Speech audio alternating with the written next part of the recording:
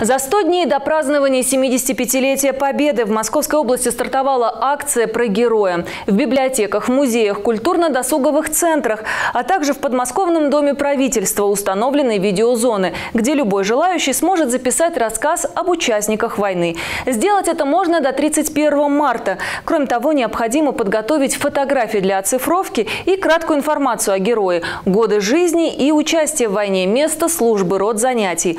Ролики опубликуют опубликуют на сайте прогероя.рф. Разместят на панорамном экране нового музейного комплекса «Зоя» в Петрищеве, который откроется в мае. Их также покажут в День Победы на фасадах зданий и в парках Подмосковья.